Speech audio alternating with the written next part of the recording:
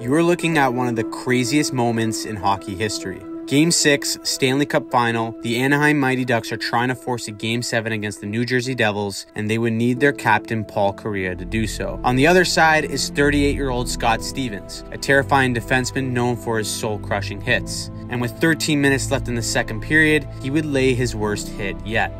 Moves it. Oh, guys, that's interference. Never saw that coming. Lying flat on the ice unconscious, it seemed like Kariya would be out for the series. Then, a few moments later, he would get up on his own power and skate to the room, only to return a few shifts later. Everyone was shocked, including the man who laid the hit. Although Paul Kariya should have never been let back in this game, he would give us one of the most iconic moments in hockey history.